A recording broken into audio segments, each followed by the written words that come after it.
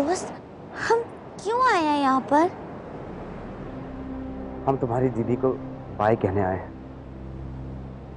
दीदी आने वाली है यहाँ पर? तो फिर हम उनको बोलेंगे कि वो हमारे साथ घर चले। वो क्यों जा रही है हमें छोड़ के? नहीं अभी। तुम्हारी दीदी यहाँ नहीं आई। हम उनकी अस्थियों को पानी में बहाने आए अस्थिया? क्या होता है? उर्मी जब भगवान जी हमें बनाते हैं तो वो हमारे अंदर एक आत्मा डालते हैं। ये आत्मा किसी को दिखती नहीं है लेकिन हमारे अंदर होती है। अच्छा ये बताओ जब तुम्हें जो भी सिखाया जाता है तो वो तुम्हें कैसे याद रहता है? याद रहता है? क्योंकि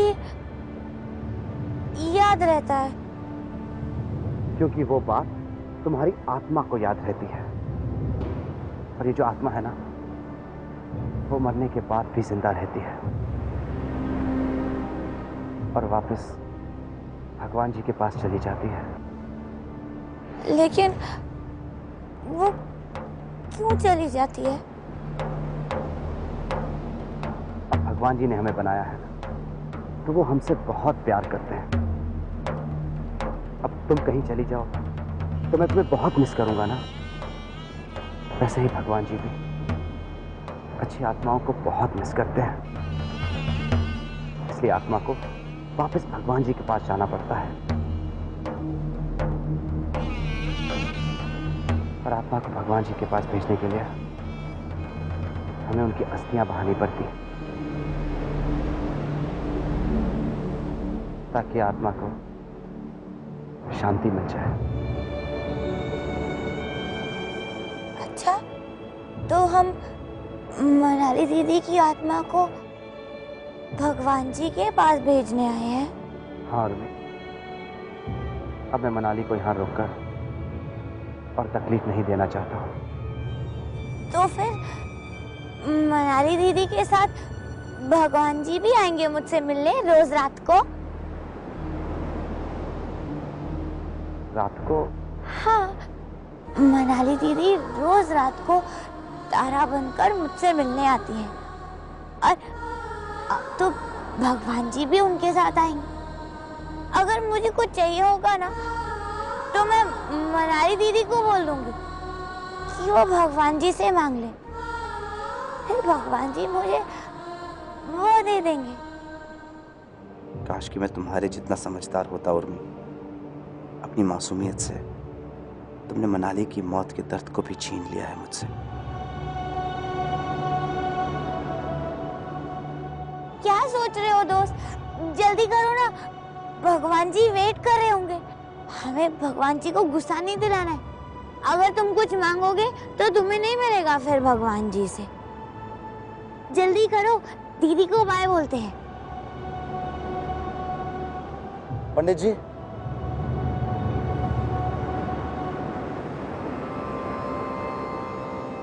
अब आप अस्थियों को विसर्जित कर दीजिए।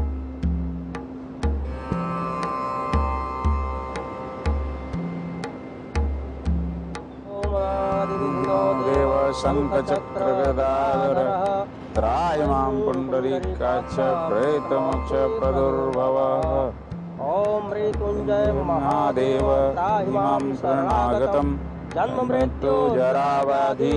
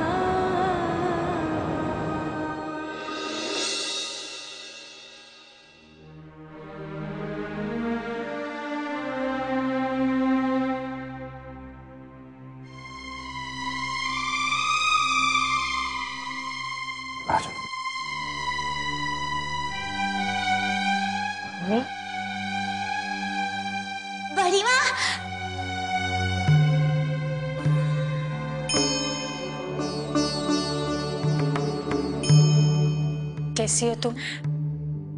मैं बिल्कुल ठीक हूँ बड़ी माँ। आपको पता है दोस्त और मेरी कट्टी खत्म हो गई है। अब मैं तो यही रहूँगी आपके और दोस्त के साथ। बस बस बस। डॉक्टर ने रेस्ट करने के लिए कहा है। अब अगर और बोलोगी तो तुम्हारे मुँह पर पट्टी बनवाने के लिए तुम्हें फिर से डॉक्टर के पास भेजना पड़ेगा। अच्छा मैं बस अभी आता हूँ।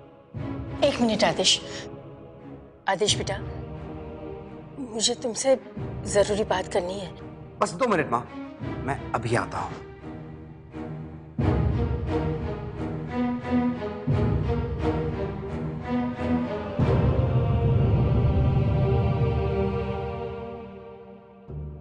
चलो आ, आ, आँख बंद कर ले। कहाँ चलो? चलो। चलो कहाँ चलो? सरप्राइज़ है।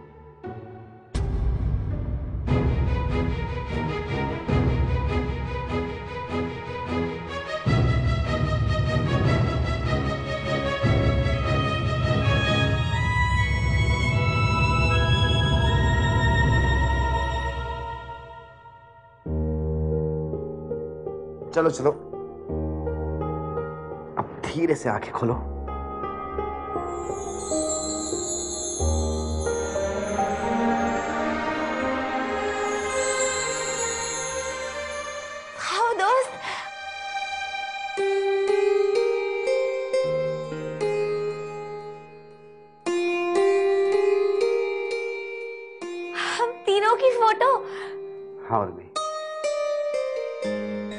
अब ये फ़ोटो यहाँ से मैं कभी नहीं हटाऊँगा। तो पहले क्यों हटाई थी? क्योंकि दोस्त को गुस्सा आ गया था। मनाली हमारी टीम छोड़कर चली गई। तो मुझे बहुत बुरा लगा। और इसीलिए गुस्सा आया। पर मनाली अपनी मर्ज़ी से तो नहीं गई। उसे तो भगवान जी ने कुछ ज़रूरी काम से बुलाया है। और मैं, वो हमसे दूर है। और जब भी हम अपनी आँखें बंद करेंगे तो वो हमारे साथ है।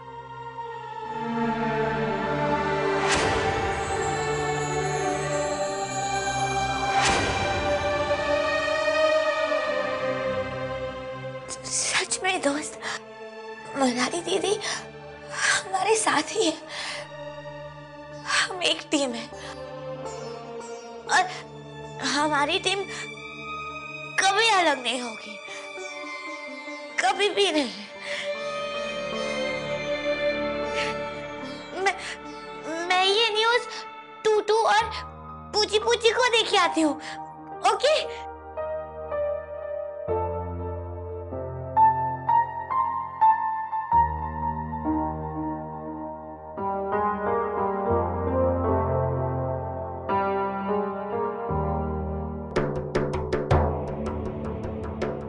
आदेश।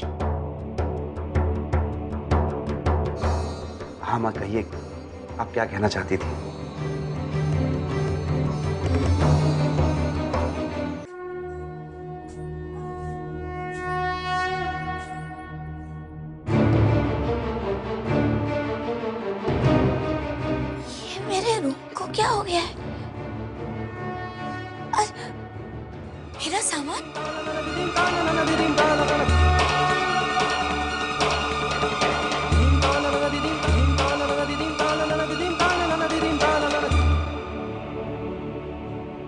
माँ आप परेशान लग रही हैं। कहिए ना बात क्या है?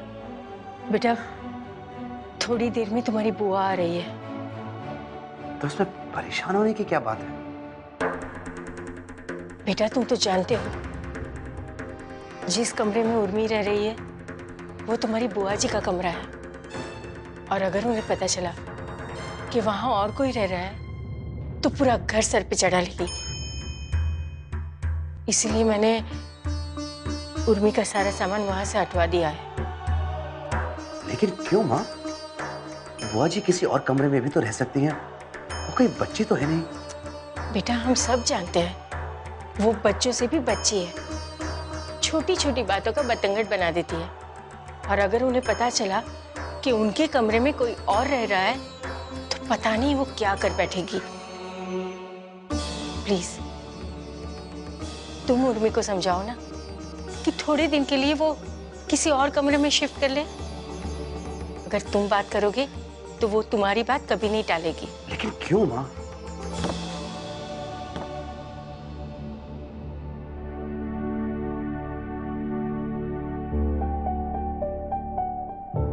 कोई बात नहीं बड़ी माँ मैं दूसरे कमरे में रह लूँगी। मुझे तो दोस्त का ही ख्याल रखना है ना?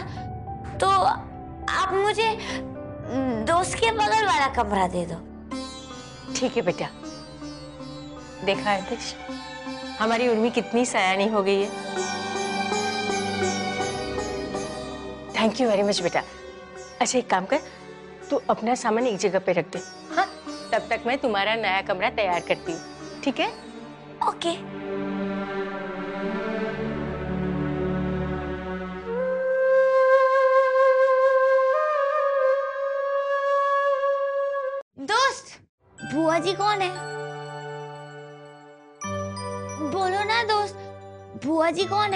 वो मेरे पापा की दीदी है। अच्छा जैसे मनाली दीदी मेरी दीदी है?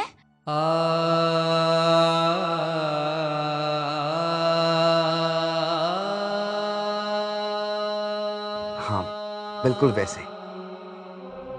तो सब लोग उनसे इतना डर क्यों रहे हैं? वो बहुत खड़ूस है क्या? खड़ूस?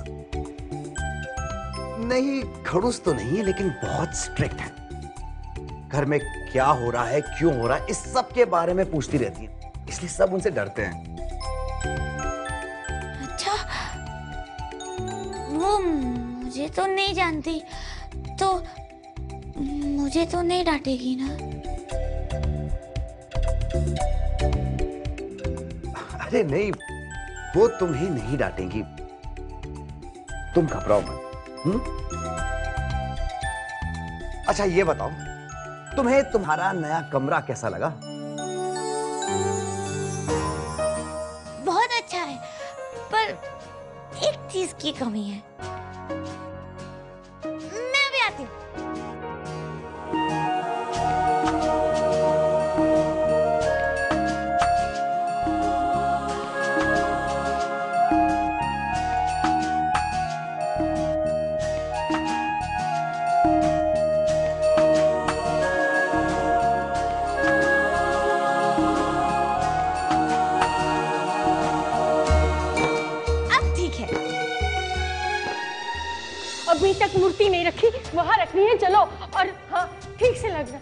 जल्दी कर।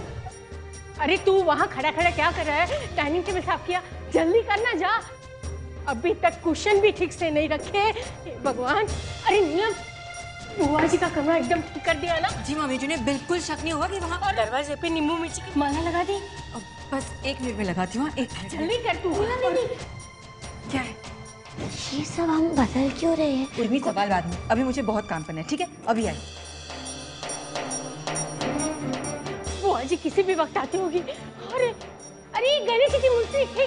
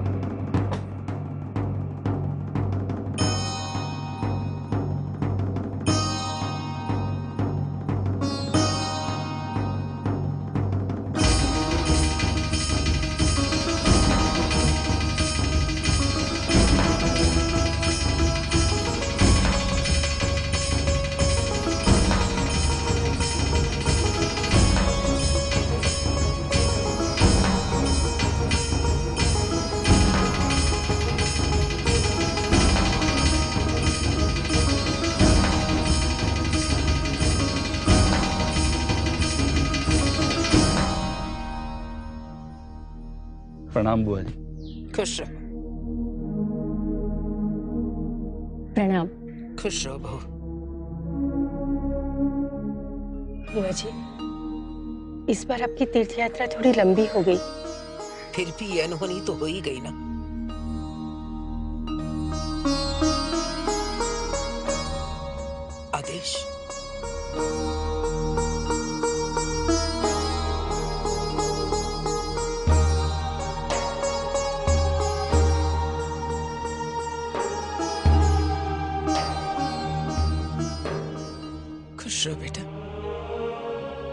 काशी में थे।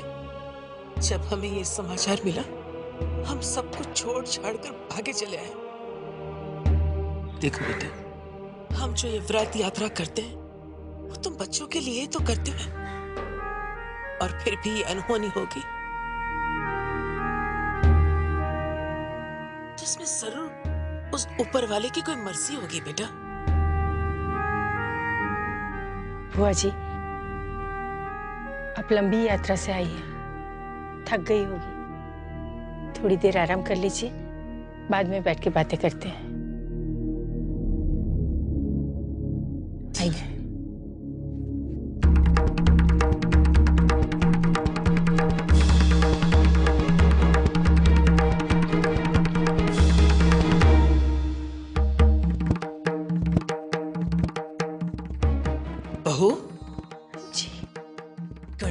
मूर्ति हमेशा लक्ष्मी जी की मूर्ति के दाहिने रखी जाती है। फिर ये क्या है? जी वो तुम लोगों ने भगवान को भी नहीं बख्शा। उनकी भी जगह बदल डाली। कितनी बार का है हमें ऐसी लापरवाही पसंद नहीं है। फिर भी तुम लोग?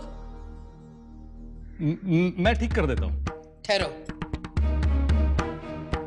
पता नहीं कैसे हाथ होंगे तुम्हारे। बहू गंगाजल से हाथ धोकर मूर्ति को छूना और उनकी जगह बदल देना। समझ गई? जी।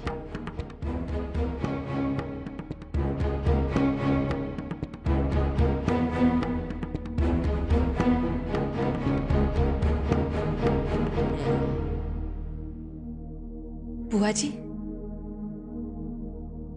सदा सुहागन रहो बहू।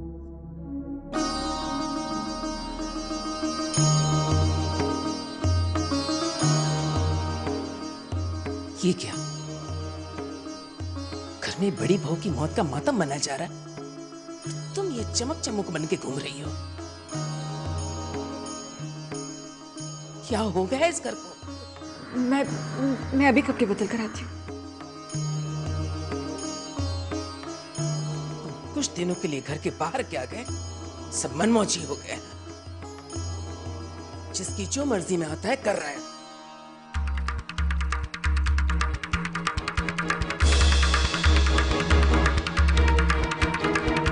कौन है? कौन है वहाँ? चोर की तरह कौन छुप रहा है वहाँ?